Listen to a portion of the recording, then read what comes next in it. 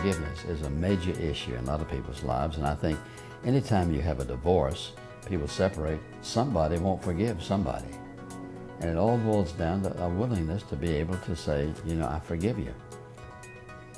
So one day I was just praying and thinking about something I was going to preach, just like the Lord said to me, you have unforgiveness in your heart. I thought, well, toward whom?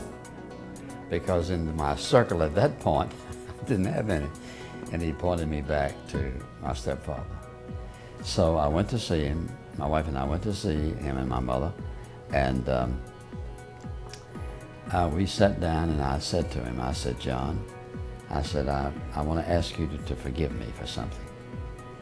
And immediately he said, oh, you don't need to ask me to forgive you. I, I, said, yes, I need to ask you to forgive me. And I told him, I never accused him of what he did. I never mentioned anything that he did. I just said, I need to ask you to forgive me for holding an unforgiving spirit toward you.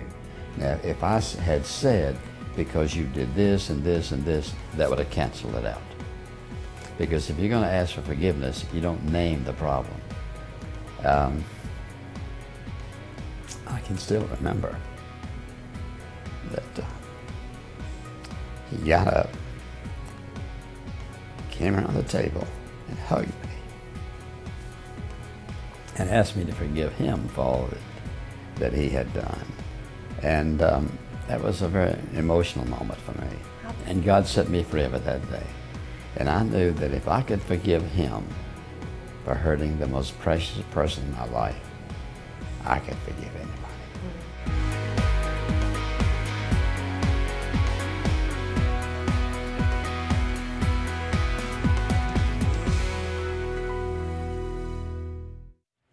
Our producer, Bill Bray, was reflecting on the fact that the Bible has a scarcity of adjectives. If you want flowery, you can go to the Song of Solomon. But when the Apostle Peter refers to the promises of God in 2 Peter chapter 1, verse 4, it's the exceeding great and precious promises. Another translation refers to his precious and magnificent promises. When we build our life on Jesus, the Lord of promises, we can have great expectations and hope that is eternal.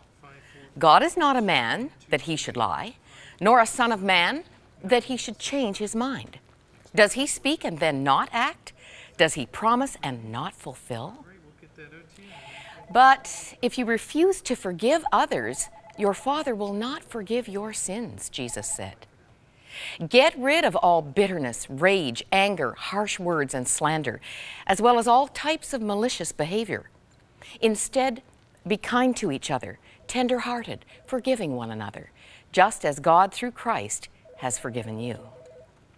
Writing to the Corinthian believers, Paul is even more emphatic about the importance of forgiveness and restoration with the help and authority of Christ, so that Satan will not outsmart us, for we are very familiar with his evil schemes. Deceive, divide, destroy. That's the devil's agenda, according to Charles Stanley. Think about it. On his broadcast last Sunday, he said that when we forgive, we don't always forget. But when we remember those offenses, the things that wounded us, we discover the pain is gone. God has healed our heart. Linda's letter is a wonderful example of this. She sent a big thank you for your interview with Dr. Stanley. God talked to me, and through that interview, answered my prayer directly. I never had a dad and was abused by my stepfather. My real dad was killed by a drunk driver in 1961. I can feel the love of my Father in heaven. He wants me to let go and let Him. He is good. I can trust Him.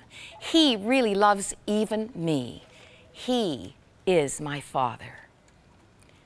Dr. Stanley knows the secret to living life at its best obey God and leave all the consequences to Him. Are you ready to declutter your heart? It's spring, the season of new beginnings. What a great time to make a fresh start.